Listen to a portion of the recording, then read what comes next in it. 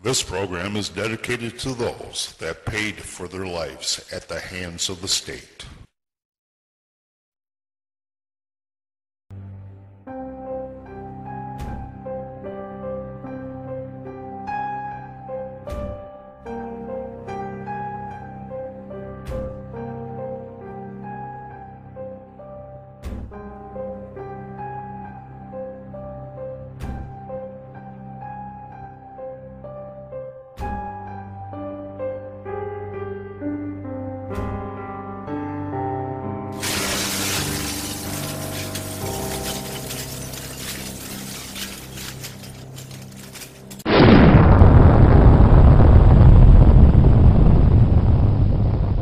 Hello, and welcome to another edition of Silent Voices, the only program here in America that you, the viewer, can tell your stories, express your opinion on the child welfare and family court system.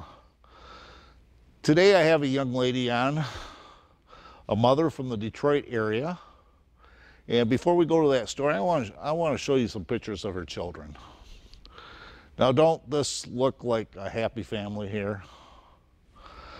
Well, our mother is from the Detroit area, as I said, and uh, her name is Jonneshia Lewis. And um, welcome to the show, Mrs. Lewis. Well, Mr. Lawrence, I thank you for letting me be on your show today. I'm delighted to be here, and I'm excited to get my story out. Now, CPS showed up here at your door September 7th of 2016. Uh, she saw your children through the door. Uh, you did not allow her in your home, but gave her an explanation to the allegations. And what were the allegations? On September the 7th, when CPS had showed up to my door with allegations, the allegations were of abandonment because when they called and asked me to take in my then delinquent 12 year old, I told them no because of safety reasons, and that wasn't accepted.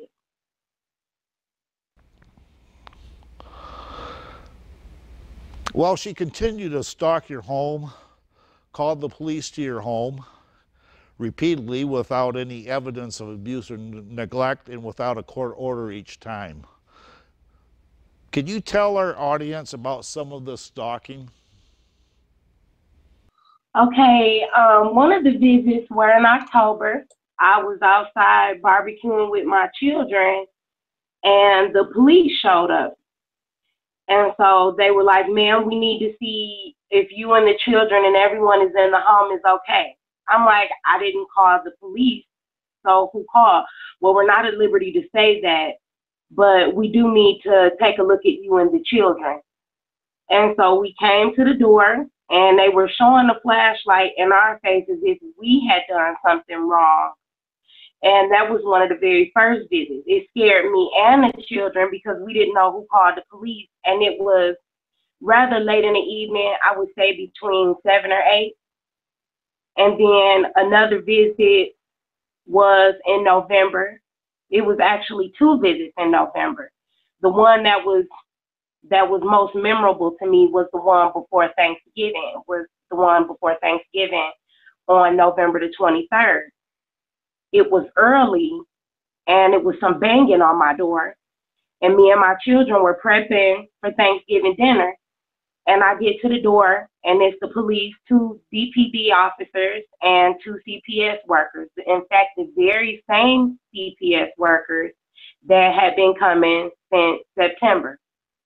The police officer asked the CPS worker, why are we here?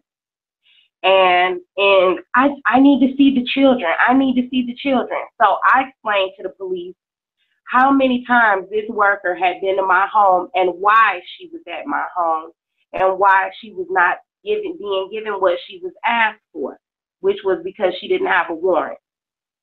The police walked away because there was nothing that they could do because there were no type of signs, nothing that would lead them to believe that my children were in danger. So they left without being able to accomplish anything that day. The very last time that the police came was in December when they removed my children. And that was after continuous visits, visits, and visits upon my home. Well, now it's uh, the day before Thanksgiving. And uh, CPS paid you the visit. This, the CPS lady paid you a visit that day, and you didn't let her see the children, feeling that you were being harassed. Um, now, December 5th comes along around, and you received a text from the CPS lady telling you that you had to be in court in, in that afternoon. Tell us about that. Yes, I had an appointment that morning out in Southfield. I'm on the bus and don't have a car at this time. So I received a text message at my appointment telling me that there is child protective proceedings for my children in Detroit at the Lincoln Juvenile Hall at 1:30. And that's all it said. It didn't say that there was a petition being filed. It didn't explain anything except for that I needed to be there. The worker didn't even leave her name or anything like, you know, contact me. It was just there's proceedings for your children this afternoon and you need to be there. And that was it. And of course, I didn't think I was going to make it because I was all the way on the other side of town. Then I didn't have any documentation from myself because I didn't even know what the petition was stating at this time. So I tried to go home and get some documentation just to show that I had been taking care of my children and proof of their shots and everything being up to date because I didn't know what was being said. And so I got to the court. I was served with the petition at the court. Um, I was thrown an attorney who didn't know anything about me, who didn't want to hear anything about me. And I went into court blind. There was no one on my side at all.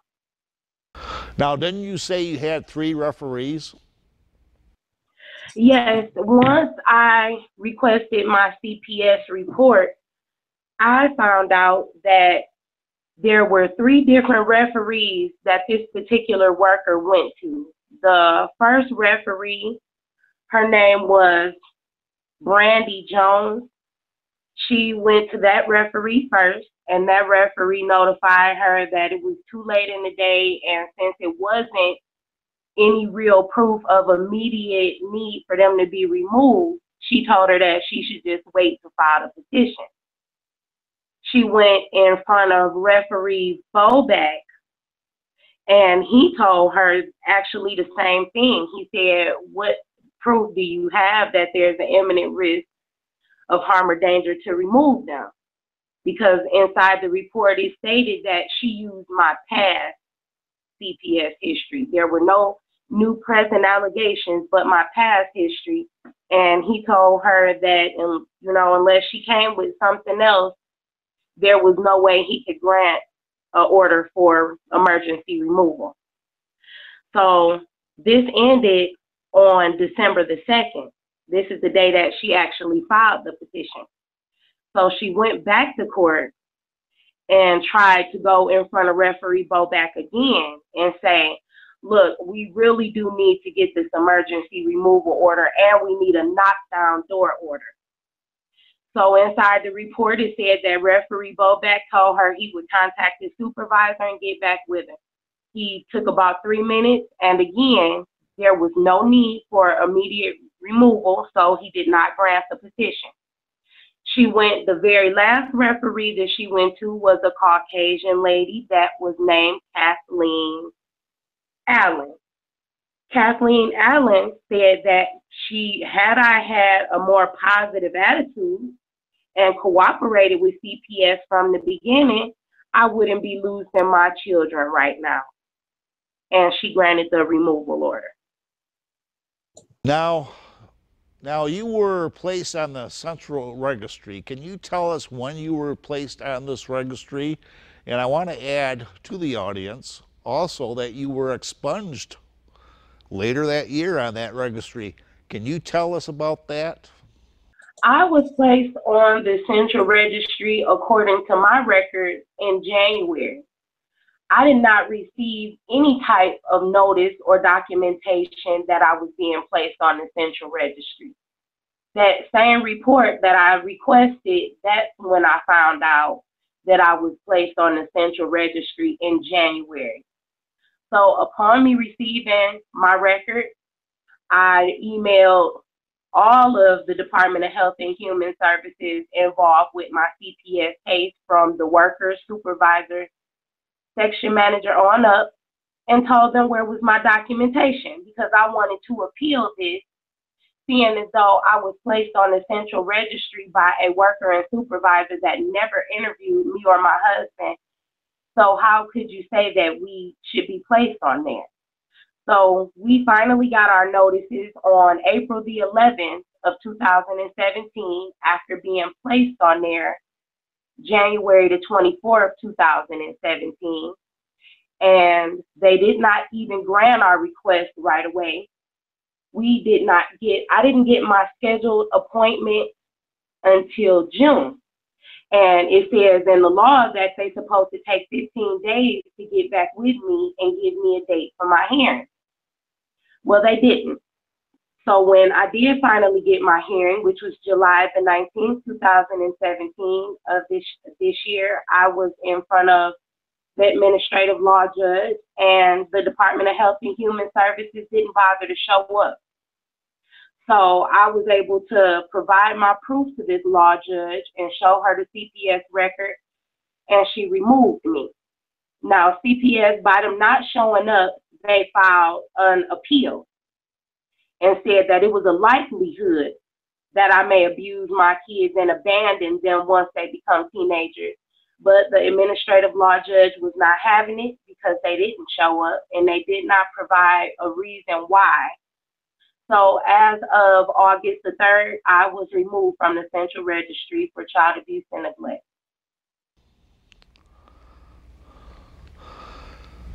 So the folks at home can see here is a photo of the expungement paper. So you're no longer considered of child abuse, yet your children remain in foster care. Because the worker has a crystal ball and, of course, she thinks that maybe you could harm your children. Now, you have some pics and some stories to tell us about the physical and mental abuse your children have endured in foster care? In the beginning, when my children were removed, my two youngest boys, which are four and eight, were placed with my mother, and my other three children, which are 11, 10, and 6, were placed with my sister. The children that were placed with my mother had been abused and police had been called to her residence more than once. And even though the foster care manual says that I'm supposed to be notified of any police involvement or any emergencies, I was never alerted that my eight year old had ran away and no one knew where he was for hours. And I was not told about that until he came back.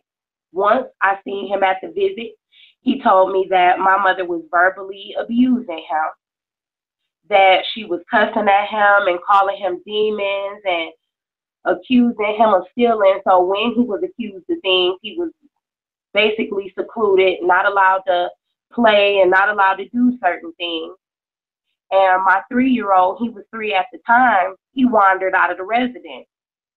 How I found out is because Eastpointe police found him wandering and because of one of my groups that I'm associated with on Facebook, they were looking for my son's family.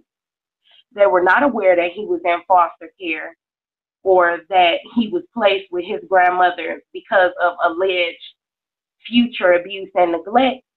So for hours, no one knew who he was, where his family was, or any of that. And I wasn't ever notified of that. I actually brought it to the attention of the state that I knew about it. So they removed him from my mother, but left my eight year old there and placed him with a family that I only know of as the Green family. Since my children have been placed there, my three year old has came to the visit soggy with girl pull ups. He's had numerous scratches. His ears are always filthy. He smells like urine. He complains of never getting water to drink. My eight year old, that's also placed in that same residence, he complains of being thrown against the wall. As of last week, one of the children that's also in that placement struck him with a dog chain and had a hickey the size of an egg on the back of his head. I've called centralized intake three times to that home for the abuse that my children have suffered. They have not been removed from that placement, and the investigation is still ongoing. My 11 year, my 10 year old son, he has complained of abuse, being hit and mistreated, having his things taken away, personal things that we give them. We bring them toys and objects from home just to make them comfortable as a punishment because the foster parent doesn't like me. She takes his belongings from him. She takes certain food that I sent home from him, and he was only moved yesterday. So they've been suffering abuse in these same placements for months with numerous CPS calls, and they haven't been removed. I would like you to tell us about your experience with the court appointed attorney. I was given two court appointed attorneys because the very first one was the day that I was served the petition when I received the text message. He didn't want to hear anything I had to say. He didn't want to see any documents I had to prove that I had been out of trouble and not doing anything wrong. So I fired him. I was immediately given another attorney who did look over my documentation, but he wouldn't say anything. He didn't like the the worker said she felt threatened. I wouldn't let her in my home. So how could you feel threatened if I didn't want to be alone with you for my own safety? He didn't fight that. And it was just her testimony, her hearsay testimony. He wouldn't object anything. He wouldn't do anything. So I wrote a grievance about him to the Attorney Grievance Commission. And on May the 30th, I went to court. That was supposed to be the second day of my trial. He called the court and quit. So I went in not even having an attorney to represent me. And so they wanted to postpone it again. And because we had been postponing since January the 25th, I told them that I would represent myself. Please get my children out of this emergency placement. And I wasn't, I did, they gave me another attorney as a quote unquote stand in. But he doesn't respond to any messages. I've called him, I've contacted him via Facebook just so he could explain to me the jury trial process and things. He has not returned a call, an email, a Facebook message or anything. So with each attorney I've been given and charged $375 for from the state of Michigan, they have not done anything to help get my children home or to help me get this case closed. And I'll tell you, we hear about that all the time. These court appointed attorneys sitting there like a bump on a log, um, not representing their client, not cross-examining uh, the so-called evidence that CPS has. Uh, tell us where you're at with your case, would you? Well, my termination trial started January the 25th, and I had been attending that all the way up until May when I was offered from the referee to either go before a judge or a jury. And I thought that was something that you get offered in a pre-trial or even at the initial phase of disposition.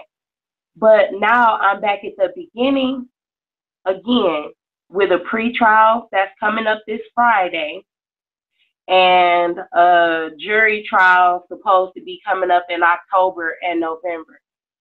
but they still, CPS and the Department of Health and Human Services have still failed to show what I've done to put these children in danger or at risk of any abuse or neglect. So I'm back at the pre-trial phase. I didn't know that you could start all over again, but I guess I'm the prime example that they can. Is there anything else that you might like to add? I would like to add that there is serious need for reform anytime you're guilty until proven innocent. My children were not forensically interviewed when they were removed, and that's also in my CPS report. They were removed in December, but they did not have an interview with an actual CPS worker until January. And even when they were interviewed, we were told by the CPS worker that interviewed them that they said they felt safe at home, that there were no safety concerns. And even within the CPS report itself, it says that my home was suitable, there was adequate sleeping arrangements, there was food in the refrigerator and freezer. She had nothing negative to say. So the things that would possibly bring a child into care for emergency removal was not what was going on. My home was suitable. I had all my homeschooling items visible and present. My home was clean. And then, like I told you, the children said and have said from the beginning, they were not abused or neglected. They cried every visit to come home. And these are things that are supposed to be reported to any judge or referee when you go to court. But the foster care workers that are involved with our children sit back and say nothing. They don't report how the visits are going. They're not forthcoming with documentation concerning school, medical. My three year old was taken to urgent care during his stay with these same predators. And I was not given documentation of why he was taken to urgent care until last week. And this was in June when he went. So the laws that the legislature set up for faucets are on a regular basis. And even though I have emailed our state reps, our senators, our Congress, the Department of Justice, the FBI, no one is doing anything to protect our children, and someone needs to do something. All of our families are not lying about what our children are suffering at the hands of our government for money. So I believe that any and everyone whose children are telling you they're being abused in foster care, report it and get it out so that your children can be rescued. Well, people, I'll tell you, this is uh, one of those heartbreaking stories that really tugs at my heart. Uh, this is also a very typical case that we see not only here in Michigan, but, Michigan, but across the nation. Uh, an endless supply, supply of tax dollars to go after children that were not abused. Meanwhile, the ones that are being abused are uh, let go and, and eventually are murdered right in their homes. I want to wish Mrs. Lewis the best of luck with getting her children back. Um, and thank you for coming on our show. Okay. Thank you for having me on, Mr. Lawrence. I appreciate you letting me be heard and letting me get out what my children are going through, which is something they weren't going through at home. And the state of Michigan abuse continues after a couple weeks of this filming. I received a letter from Mrs. Lewis, and I want to read that to you. Today, Jordan was 30 minutes late to the visit. I wonder when that will be made up. Joshua smelled of urine and mildew. It also took four Q-tips to clean his ears, and his skin feels rough all over, like he has dirty, dry skin. When I was feeding Josiah today, he was saying the most unusual things as if he had been coached to repeat, repeat certain things. Jeremiah's clothes were dirty and smelled of mildew. His hair and ears were dirty, and he was musty. Jordan said he wasn't given deodorant, and that caused him to be musty. My husband and I are being charged for all of our chil- children's care, and they are not being cared for at all. They are dirty, hungry, thirsty, needing baths, wanting to come home, missing their rooms, their beds, their clothes, and schools, cooking with me and doing yard work with their dad. They didn't need protection because they weren't being hurt or mistreated. That's why they were healthy, no marks or bruises, caught uh, up on immunizations with medical waivers in place, no cavities, and had a nice five bedroom home to live in. You know, it's really a shame they aren't living like that now. She said she continues to say, I am no longer on the central registry along with all the positive things described uh, above noted in the CPS report dated 9-6-2017. And she sent me the CPS report that says some very positive things about the family. Um, the MDHHS knew that I didn't abandon Charity Carter. There were pending criminal charges against me from her and a guardianship court order still in place. We want our children back, and that is where they want to be as well. This is not in our children's best interest, and, and certainly not because you can imagine not only the the physical abuse they're going through, but the mental abuse being away from their parents, thinking that their parents had done something wrong. And, and in this case, they haven't. This is a good family here we're talking about. We're going to be back after these messages. If you would like to be a guest on Silent Voices, contact us at mi parental rights at gmail.com. That's mi parental rights at gmail.com. I want to thank each and every one of you viewers for watching today. You can catch us next week, same time, same channel. Until next week, my friends, remember, your voice can make the difference.